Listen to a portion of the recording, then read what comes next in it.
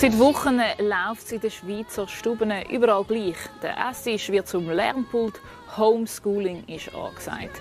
Die Eltern drehen durch, die Kinder sind verwirrt und die Lehrer überfordert. Vor allem die Digitalisierung ist das grosse Thema. Blick TV berichtet die ganze Woche in einer grossen Serie über das Phänomen E-Schooling. Und heute das große Thema, warum ist Estland uns so weit voraus in dem Heimunterricht? Und wir nehmen die digitalen Angebote wie WhatsApp und Zoom also ein bisschen unter die Lupe. Was können die? Unser Digitalredakteur Lorenz Keller erklärt Vorteile, aber auch die Gefahren der verschiedenen Plattformen. Das alles kommt jetzt. AmHub ist ein soziales Netzwerk, das aber Open Source ist und das jetzt nur für unsere Schüler reserviert ist.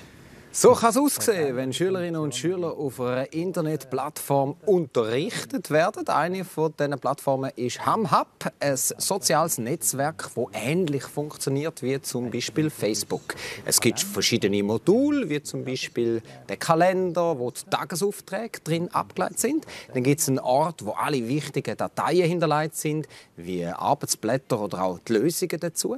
In der Galerie kann man Fotos von Klassen, Reisen oder Ausflügen nachschauen. Der Lehrer Michael Walder nutzt für die Seite für sich und seine Klasse für den Unterricht. Er ist es jetzt live per Skype zugeschaltet. Ähm, Herr Walder, was sind Ihre ersten Erfahrungen mit der neuen Seite? Sind Sie zufrieden? Ja, ich denke, das ist für alle eine grosse Herausforderung und äh, Digitalisierung ist immer schon ein Thema in der Schule natürlich, das ist nicht etwas Neues. Aber dass man jetzt von heute auf morgen hat müssen umstellen von Präsenzunterricht auf, auf Fernunterricht, das ist für alle wahnsinnig schwierig gewesen.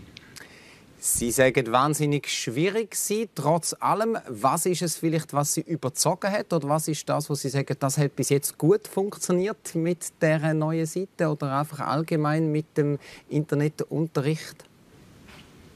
Ähm, bei mir ist es so gewesen, dass ich schon Anfang August, als ich die Klasse, oder einfach Anfang Schuljahr, als ich die Klasse übernommen äh, angefangen habe mit dieser Plattform, mit dem HamHub.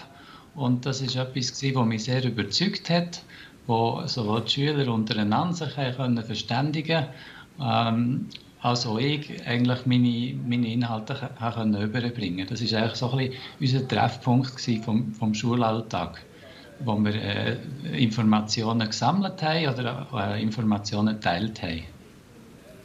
Was haben Sie für Rückmeldungen bekommen von den Schülerinnen und Schülern? Wie zufrieden sind die gewesen? Haben die gut können mit dieser Internetseite umgehen?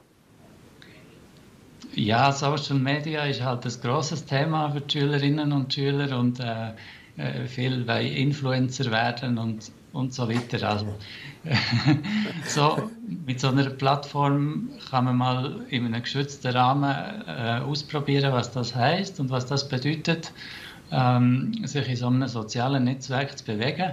Weil wir Erwachsenen, wir haben ja das nie gelernt. Wir sind einfach dort rein geschossen worden und haben einfach mal ausprobiert, um zu machen. Aber heute weiß man, dass es eben auch viele Gefahren gibt und äh, Sachen, wo, wo man muss aufpassen muss und darum denke ich, mit Schülerinnen und Schülern macht es Sinn, das äh, zuerst auszuprobieren in einem geschützten Rahmen. Die digitale Schule wird in diesen Tagen auch viel kritisiert in unserem Land. Sie selber haben jetzt auch gesagt, es birgt viel Gefahren. Man muss gut aufpassen. Vielleicht ganz konkret, äh, trotz allem, wo sehen Sie einen Vorteil oder sehen Sie das tatsächlich auch für die Zukunft, dass man die Schule äh, auch könnte so machen von die aus? Ja, ich denke, die sechs Wochen, die wir jetzt haben erlebt das wird die Schule bleibend äh, verändern. Also die, die Entwicklung, die jetzt stattgefunden hat, die ist nicht mehr rückgängig zu machen. Also darum müssen Lehrerinnen und Lehrer eigentlich in der, in der ganzen Schweiz sich auf eine neue Situation einstellen und äh, sich überlegen, wie kann man jetzt das, was wo, wo funktioniert hat in diesen sechs Wochen, wie kann man das überbringen in, in normalen Schulalltag. Michael Walder, das nehmen wir mal gerne mit in den heutigen Tag rein, die Aussage von Ihnen, dass man das eigentlich nicht mehr rückgängig machen kann.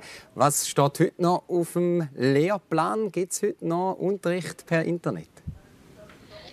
Ja, natürlich, weil äh, am 8. erwarten meine Schülerinnen und Schüler, dass ich ihnen äh, die Aufträge gebe. Gestern war äh, etwas im Mathe nicht ganz klar. Gewesen.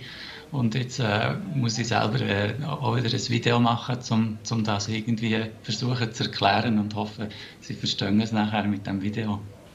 Michael Walder, selbstverständlich lassen wir Sie jetzt springen. Danke vielmals, dass Sie ganz kurz Zeit haben am heutigen Morgen und toi toi toi weiterhin mit der Internetschule.